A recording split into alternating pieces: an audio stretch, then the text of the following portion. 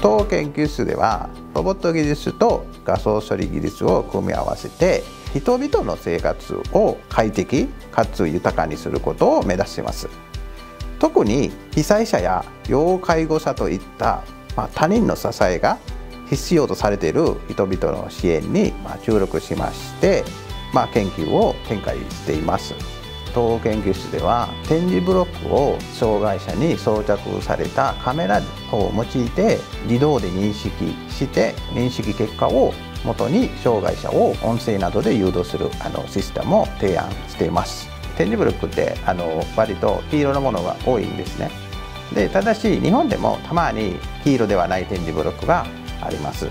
さらに海外でもこれによって展示ブロックの色があの黄色ではなくものもありましてで我々の手法はその展示ブロックのある一定の色のあの分散とさらに展示ブロックのエッジ情報に注目して、まあ、提案した手法でありましてであの世界中どの国の展示ブロック中枢にも応用することが、まあ、可能となっています。画像内で、まあ、同じ色が何て言うかな続いているっていうところに、ま、注目しましてでその同じ色の分散っていうものを、まあ、このグラフでいうとちょっと赤で示してますね。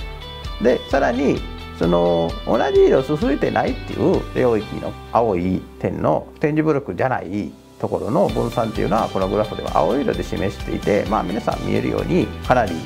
広範囲で広がっているんですよね。ただし展示ブロックの場合は広範囲であの範囲が狭くて広がっていてこの違いを統計的にちょっと解析しまして今回あの展示ブロック認識に私たちの手法に使われているということです。本研究の実験を示す動画でこの動画の左側が元の動画で右側はあの我々の手法で展示ブロックが検知される結果を示しております。ちょっと明るさがちょっと強い環境でも、まあ、本手法は問題なく展示ブロックをあの認識してくれますね。さらに次あの展示ブロックのようにちょっと障害物があった時の状況障害物があってもあの問題なく認識されます。えっと、これはあの海外であの撮影した動画で海外でも問題なくあの研究がされます。本研究の、まあ、これまでのその展示ブロックの